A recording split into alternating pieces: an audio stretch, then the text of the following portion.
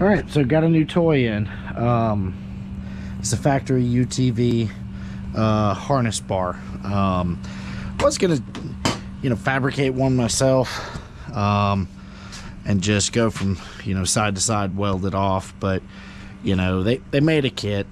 Um, it wasn't that expensive, so I figured I'd just go ahead and do this. Um, so first things first, you, you really need to remove the seats. Uh, there's two 12 millimeter nuts um, down here at the bottom of the passenger seat. Pull them off from the bottom, um, then the seat will lift out.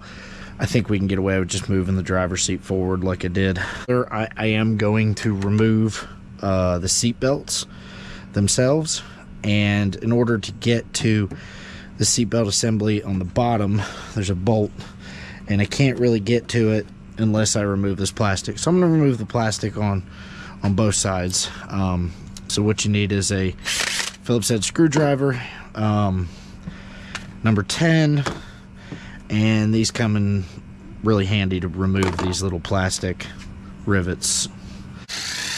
So go ahead and pull these out. Whoop. And while we're here, I replaced, you know, um, a lot of these screws right here. These are the only two Phillips heads left.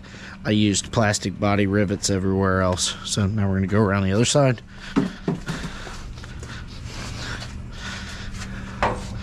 And, you know, good luck if you can remove these like I am. Uh, hope you can. But most of the time I find these are, are, are pretty well um, rusted. I've already removed them and cleaned it, chased the threads, put them back in. So I'm not terribly worried about it. That one looks like it was cross-threaded, so I'm sure I'm gonna fight that one going back. And now we got a bunch of these things to to remove. Um, so however you want to pull these out, you're probably going to have screws and bolts. You know, go ahead and remove them however you see fit. Um, and I'll come back when I get these off. Okay, now that you got the plastic off, you need a 17 millimeter. I'm using the impact just to make my life easier.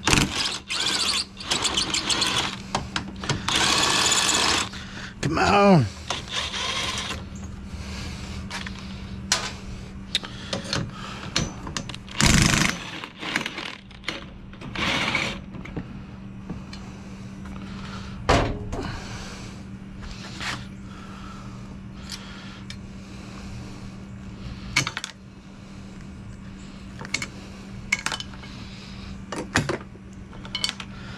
Locking nut and a washer.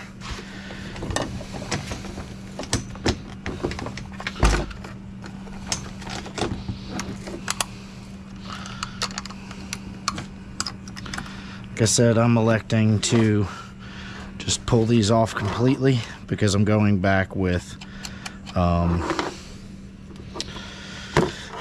actual uh, uh, four point or five point harnesses. I can't remember what I bought. Um, but we're going to go with harnesses moving forward. So uh, these come off pretty easy uh, if you got an impact. Um, it can be done without it. You know, it's not that big a deal, but uh, just an extra step. This is a little faster. Um, now let's go read the instructions. So remove the seats, uh, install the harness bar, between the two three hole brackets on each side of the ATV. And that would be these. Um, don't know if it's the top two or the bottom two holes. Let's see what it says. Looks like it's going to be the top two holes.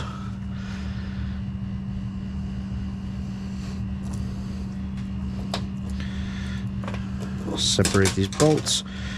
We got four of those and five of these.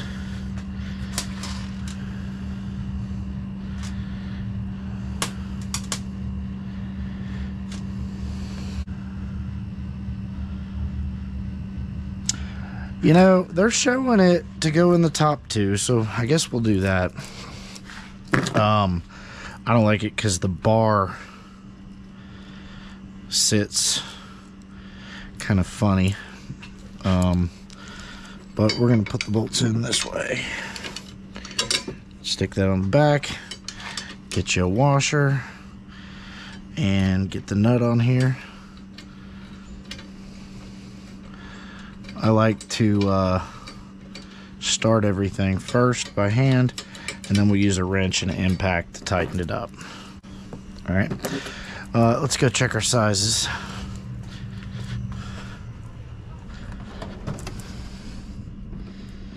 Oop, nope. Be metric, not standard. 12, be 13 or 14. Let's go. 14 for both.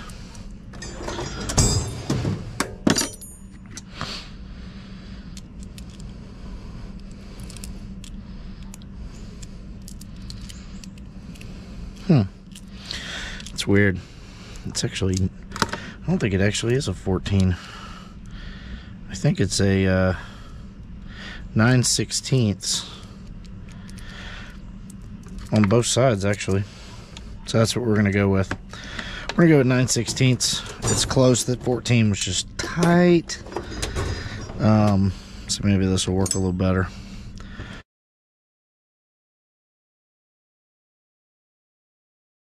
I'm trying to get you to where you can see this. Um, these seatbelt covers actually, um, well, this one's upside down, but it's fine, uh, are supposed to go here, um, kind of to cover up this hole.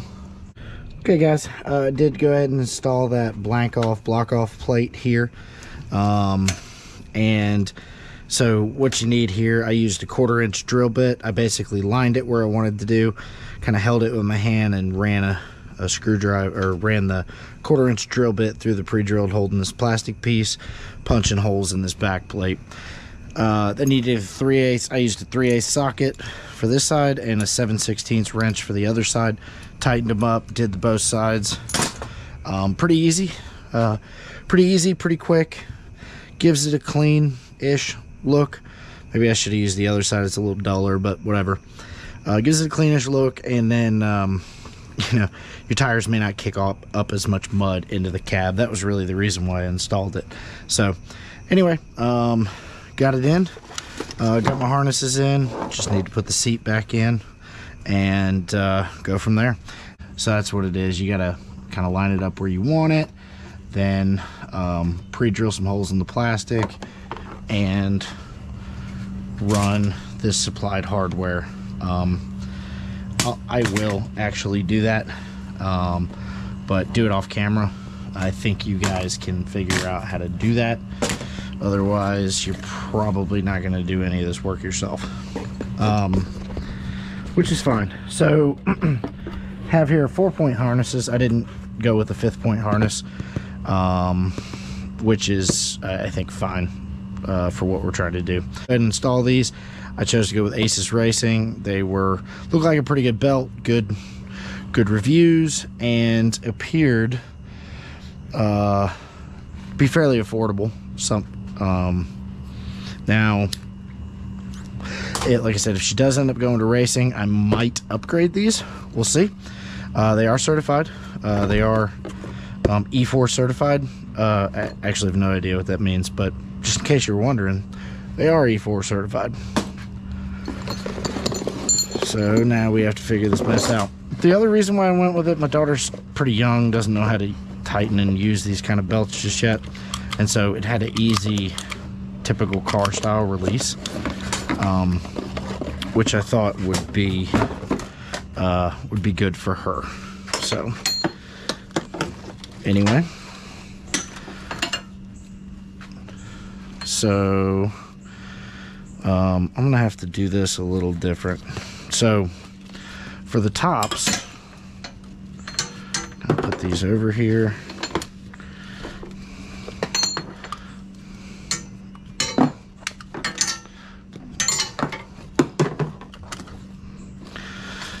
And I'm gonna pull these back a little farther just for now.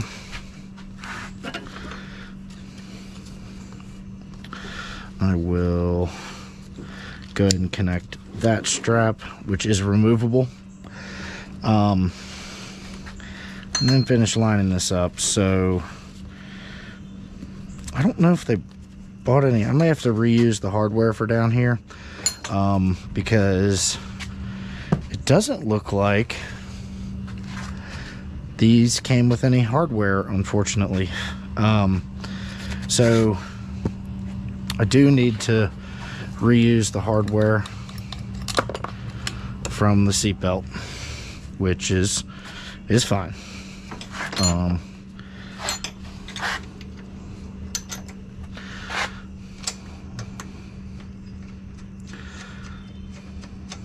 at least on this side. So go ahead and get that one down. And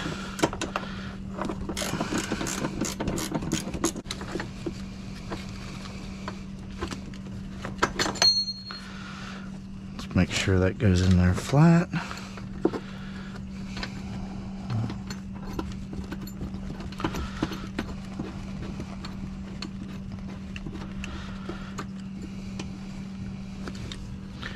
And I'm gonna go ahead and tighten this middle one up.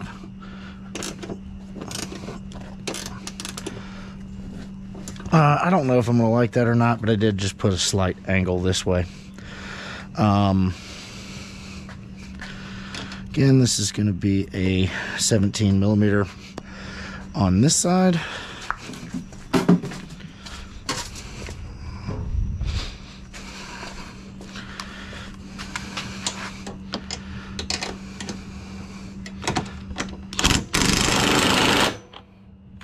Um,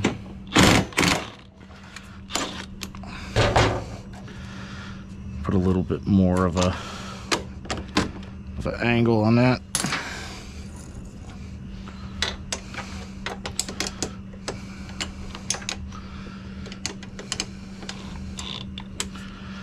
Okay.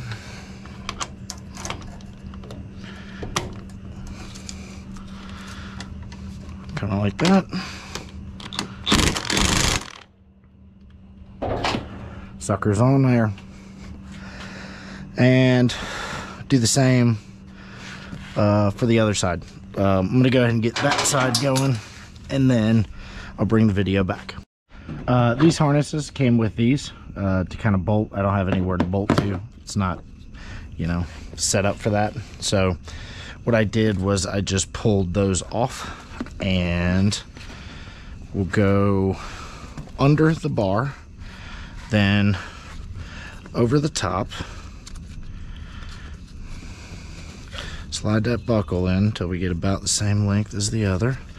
And run it through one more time. And before I really tighten everything down, I'm gonna have my daughter come sit in here, make sure it, it works well. But when I get done, I'm gonna take this one more time, run it back up through the back, and probably trim off the excess. Um, don't know just yet, but that should keep um, that should keep this thing um, safe where it's not coming anywhere. And there's your harness setup. Uh, the one thing i do notice right off the bat that i don't like is i kind of wish and maybe i can get this tighter so it's not a problem but i kind of wish this stuck down a little further. That way this belt doesn't want to slide up here at any point. But i think if i really just tighten this up to where it's only you know um, only the width of the bar that there's really not going to be an opportunity for it to slide out. Um, but anyway that's essentially it. Uh, first impressions. Do i like the bar? Yep. Didn't have to make it myself. Um, it, it, was a little more than uh, i kind of thought something like this would cost but i'll be the first to tell you that doesn't mean anything at all. Um, you know somebody's got to make it and they got to make a profit and all of these parts my understanding for this for this RZR in general are kind of custom built because there's not a huge market for them so they're not going to mass produce anything Uh, there's not a huge market for the RZR 170s, and not a huge market, those that do buy them, not a huge market for people that upgrade them like like I'm doing. So uh, makes complete sense to me. Uh, anytime you have to custom make something, guys, it's it's gonna cost more money. That's just how life works. Um, kind of like building furniture, right? I like I love building furniture. Um, I've got a wood shop that I really well you can see I got a bunch of walnut and maple and sapele and uh, some oak and cherry and I love building furniture. Haven't done it in a while, but you know I, I just build it for me. There's no resale value in it because you know nobody wants to. You know if I go build a coffee table, I might have you know 80 80 hours and something like that. Um, taking my time, just having fun with it, and doing a good job. Uh, nobody's going to want to pay me 80 hours worth of work to build a coffee table. Not when you can go to, um, not when you can go to Ashley Furniture, Rooms to Go, or one of those kind of places and pick yourself up a coffee table for about 150 bucks. It's pretty nice. You know, furniture is one of those things we just kind of throw away and change out every few years. Um, whatever. Uh, so anyway, getting off track. They custom make these things. Um, so you're going to spend a little bit more money. Um, and, uh, you know, parts aren't cheap. Steel's not cheap um, right now. So kind of is what it is. Anyway, hope this was helpful. Um, hope this helped somebody. Uh, or maybe it made you make a decision on whether or not you really wanted to order this stuff. But uh, uh, if it was helpful, I appreciate the like and the subscribe. Um, trying to build up my channel, so um, much appreciated. You guys have fun and go fix something.